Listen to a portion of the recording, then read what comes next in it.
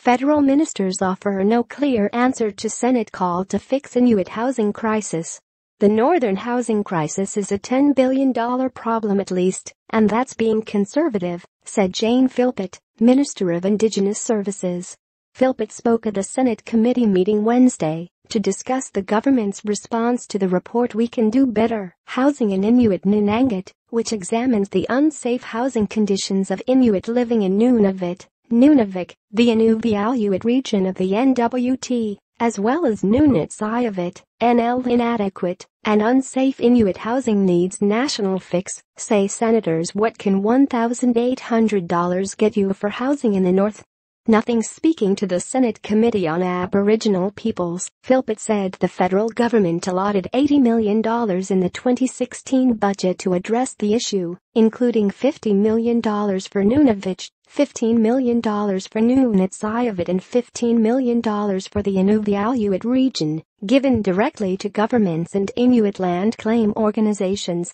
There are a number of keys to success, and it's going to require a completely different way of looking at how we address housing gaps, Minister Jane Philpott said in Ottawa Wednesday.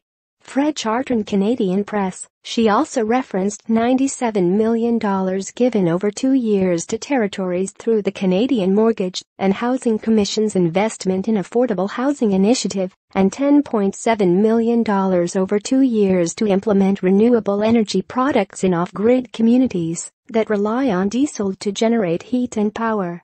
But Philpott admitted it's not enough, especially considering the growing Inuit population. Continuing with business as usual, even better business than usual, is not going to address the gap, she said. There are a number of keys to success, and it's going to require a completely different way of looking at how we address housing gaps.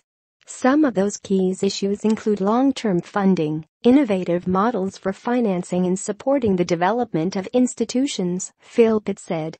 Another issue discussed at the meeting is the amount of time it's going to take to see substantial change in these communities. Due to the severe housing shortage, a young family in Igloolik, Nunavut, lived in this poorly constructed wooden shed we can do better. Housing in Inuit Nunangat, Senate report Philpott said Nunavik will build approximately 144 new homes with its $50 million share of housing money, and in Nunatsiavut, she said multi-unit complexes are being built with its $15 million, but did not say how many.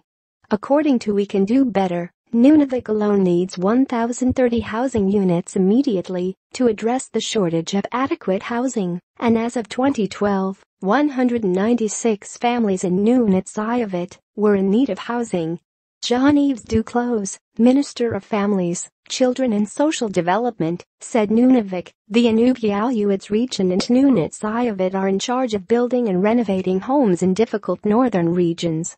They make, I think, the most effective use of the resources available, he said.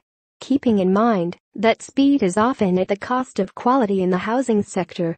And given the fact, as we all know, in the north construction and renovation take both good planning and time. The ministers did not say when they think the housing gap could be closed, but Philpott admitted we not only can do better, we must do better. The Senate committee wasn't convinced that would happen anytime soon.